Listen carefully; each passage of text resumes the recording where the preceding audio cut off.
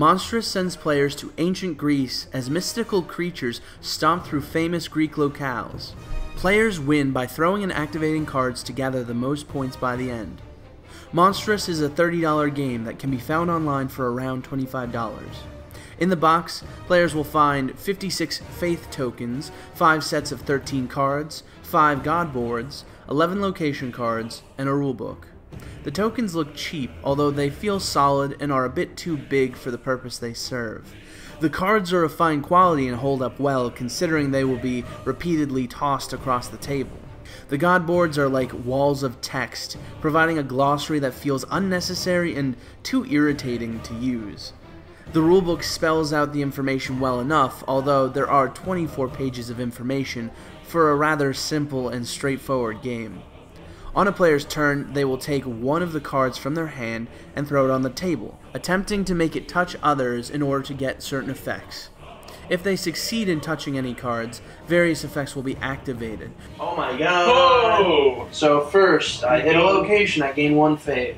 Mhm.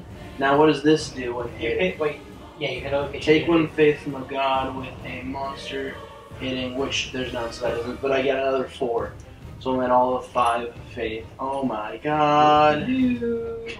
Traps will cause thrown cards to do things for other players.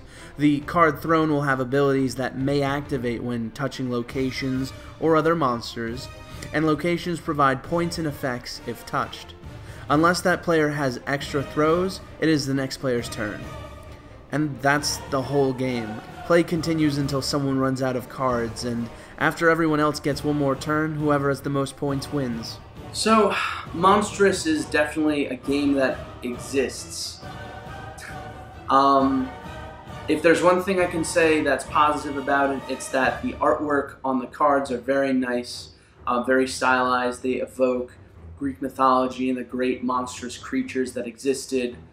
Uh, but yeah, no, this game is pretty bad. It's mindless, it's tedious. You're throwing cards on a table and trying to hit other cards. A lot of turns you're going to miss your mark and a card's just going to sit there on the table and that's the end of your turn. And, you know, knowing what the different locations and cards do is nice, but it really doesn't matter. You're just throwing cards at a table until things happen.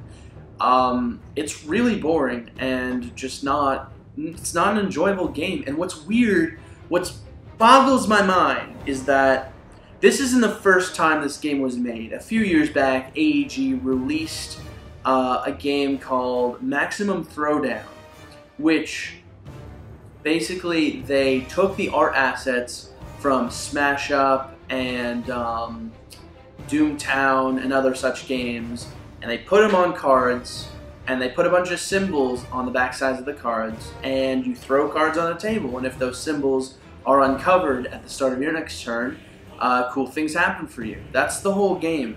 Um, but at least in that game, those symbols had, you know, meaning that can be readily seen and evaluated and utilized. In Monstrous, you have to be pushing other cards out of the way to read the text and try to see around all the different artwork to figure out what everything does. It's it's visually so distracting and frustrating to play. There's nothing fun about it. I'm not recommending this game. Um, the value of it is fine, whatever, but it's not worth the money for the game regardless. Monst- and the, the crazy thing is, is that Monstrous was kickstarted, released, and then Cool Mini or Not decided, hey, this looks like a good game, so they picked it up and continued to publish it. This is a $30 game that exists on the market, and it really shouldn't. Um, I wish I liked this game more. I love Greek mythology. I love, you know, the ideas of it. And while I'm not a huge fan of dexterity games, you know, it's a simple enough game that there was some potential, but no. This game is just mindless and and frustrating and it's not worth your time. Don't spend money on it. Go and get something else. Anything else. Just don't buy this game. So those are my thoughts on Monstrous. What do you all think? Please let me know in the comments below. Uh, feel free to like and subscribe if you enjoyed what you saw here. And uh, check us out on Facebook, GamesOnTape.com, uh, the Sorry Man I Farted YouTube channel, And until next week or whenever, I'll see y'all next time.